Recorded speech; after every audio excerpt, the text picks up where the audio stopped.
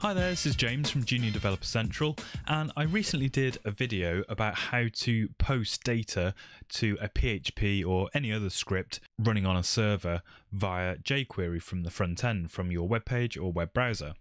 So I thought it'd be a really useful idea to do a follow up video, which is basically kind of the other way around. Instead of posting data to a script on a server, is to actually get data from an API or another script that's on a server too.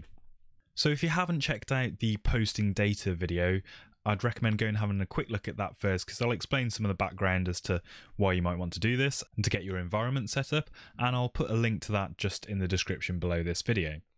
So just to illustrate what's going on here, um, I just have a, a, simple web page and I've got jQuery loaded in and I have a very simple uh, PHP script called get.php and all it's doing is creating a variable which is an array of these users and giving them a, a job title, a job role as well. And then we just echo that back out using the JSON encode function which turns it into a JSON-like string to send back to the browser.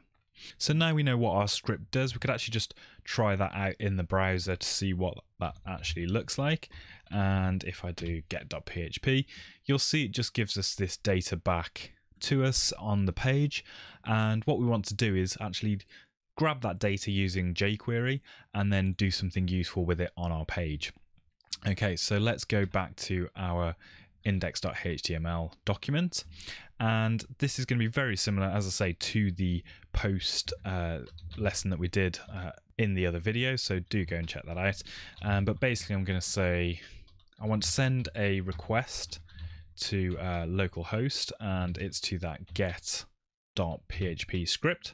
And we don't need anything else in there. And I'm actually going to use the promise like functionality that's built into this version of jQuery. And basically, when the response is done, I'm just going to log the data out to the console, data rather.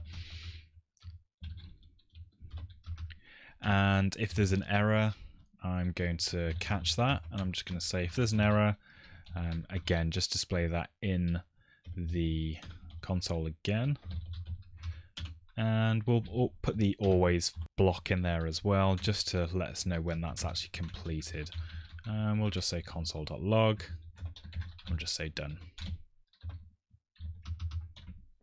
So just running through that again really quickly, we use the built-in jQuery.get function and we just give that a URL. Uh, so we saw a second ago that if we browse to that get.php file, it will actually display that data to us and it will also uh, then, when that completes, log that data out to the console. If there's an error, uh, display that to the console, and when we're finished, just log out the message done. So if we go to the web page again and just to refresh that to load that, we don't see anything, but if we head on over to the console, you'll see there that the JSON string that we saw a moment ago in the, the web browser is, is now being loaded into our console via that jQuery request. So that's okay in itself. Uh, we've got the response back in uh, to our web page via jQuery, but we might want to do something a little bit more useful with it. So let's actually go back to the uh, page and instead of just logging the data out to the console, let's actually just write a little bit of a function here to do something. And first thing I'm going to do is just put an element up here. So I'm going to create a blank div element give it an ID of results, let's say, and that won't display anything by default. But when the uh, data has been downloaded from the GET request, uh, let's actually target that element. In fact, we've got jQuery loaded in here, so we might as well use that already to select the element. So let's say jQuery, let's select results, and I'm going to, in the HTML, uh, let's literally just dump out the uh, data that's come from that GET request in there. So let's go to the web page and refresh the page. So now we're actually just getting that JSON string and just literally printing it out into the into the web browser again. So let's refine that a little bit more as well. Uh, wouldn't it be good if we could kind of like loop through all of the results that we have there and just kind of like maybe make a, a list or a table or something like that? So we could do that by looping through all of the keys that are there. So the keys would be things like James, Sharon, Kate, etc. from here. And let's just say from that data, let's do for each of those keys and for each key that we get, let's say instead of just appending the whole block there, we'll say results and we'll append the key. Actually, let's just put a little bit of syntactic sugar on that and just say we'll put a list item and we'll say the key which is the name. In fact we could probably change that to name because that makes a bit more sense in this case. Just loop out their names and then maybe just also put in the role that they have as well. So we do that by just referencing the property uh, that is represented by that key which we we know the the data we've the object that we've got is called data and then we just pass it in the name property to get that that value out there. Um okay so let's just do this. Okay. And instead of a div let's just change that to a an unordered list Okay, so if we go and refresh the page now, what you'll actually see is we get a really weird output.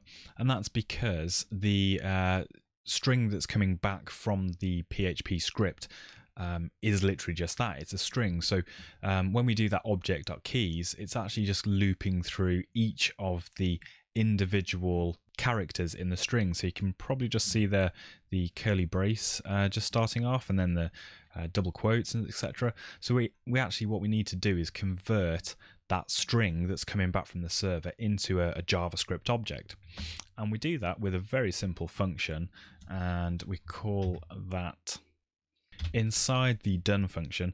And I'm just going to create a new variable say say it's results and I'm going to use json.parse so this is taking a string as we know it's coming back from the server and converting it into a proper JavaScript object for us. So let's just say update these variables here. So results is now holding an actual JavaScript object. So if we go back to the page and refresh you can see now that instead of looping through each character of the string, we're actually accessing each property um, available in the object that's been converted. So there we have it. It's a very simple script to use the uh, .get uh, built-in jQuery function, but you do need to do a little bit of processing with the data that comes back to it, depending on what you actually want to show to the user. But you can imagine now that basic template that we've got here in the UL tag once you've loaded in a front end framework or apply your own CSS, that starts to look quite nice. And obviously, it's dynamic depending on what data comes back from this GET request. So there you have it, getting data with the GET request from jQuery. If you found this video useful, just drop me a comment below and give it a like. And don't forget to subscribe to the channel for more web development tips and tricks.